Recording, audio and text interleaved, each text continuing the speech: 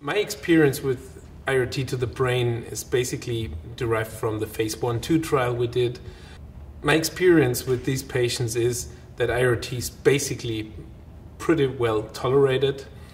Uh, in the brain metastasis setting, there's even a very low frequency of toxicity um, because these patients will not have the necessity to undergo any other radiotherapy to their brain. And other than that, in the brain metastasis setting, we see that it's better, if, equal if not better, local control than what we do in the in the what we previously did with gamma knife or with stereotactic radiosurgery to the cavity. And in the glioblastoma setting, based on our phase one two trial, our experience that we can efficiently prevent this tumor from regrowing in the cavity.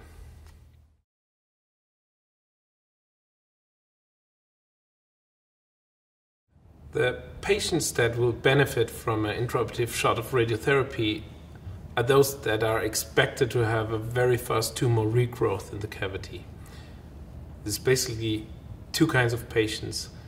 Patients that underwent brain metastasis resection and patients that suffer from glioblastoma.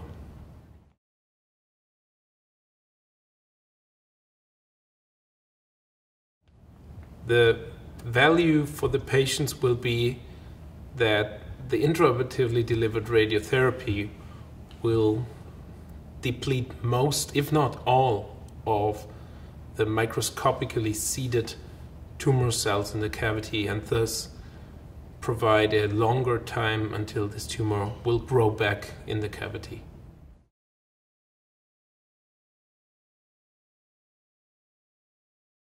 Usually after resection of a brain metastasis, these patients have a time uh, where they wait for the radiation oncology to kick in.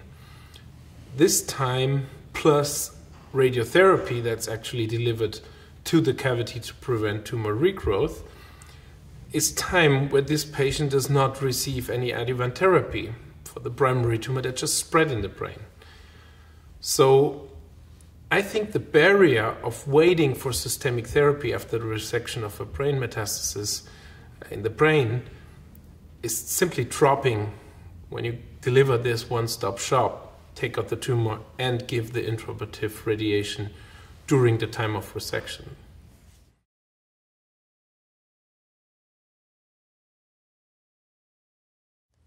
IORT is an additional option that I can offer to my patient and that many other centers around my centers do not offer. So I can provide a service and I'm happy to provide an extra service to my patients that other sites do not do not provide or are not capable of um, providing to their patients.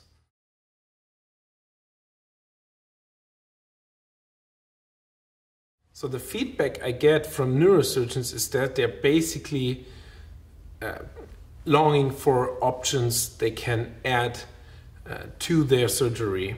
Specifically, if it comes to a point where they could not take out all of the microscopically dispersed tumor cells, my feeling is that neurosurgeons are very eager to add on to very optimal, very good surgery, but they were very happy if they can offer an additional extra uh, in terms of clearing the cavity from tumor cells and in terms of saving more time that the patient can go directly into oncology without the need to to make a touchdown in radiation oncology and then proceed to oncology.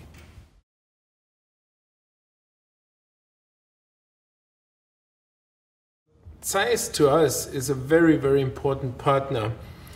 They have a uh, pretty efficient clinical application team that supports us in new applications. Partnering with a company becomes important in cases where you do procedures for the first time, do procedures that are not established in your center and this is where you work together with the company, pretty intensive, and a clinical application team that's required once you do something for the first time, you're quite happy to have a backup from the company.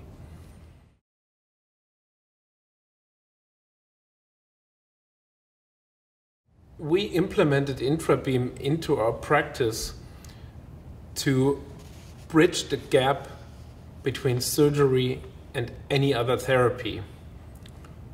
We always have to make sure that we're thinking about cancer, treating cancer. And cancer does not stop to grow, it's not an on and off growth after resection.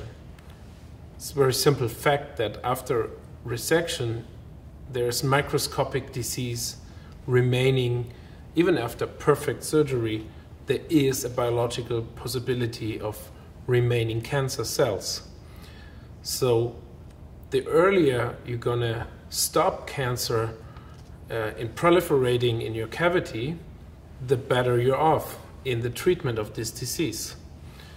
So this was motivating us to acquire a possibility to be earlier in the whole treatment chain of treating a cancer patient, and you're never going to be earlier than in the first surgery.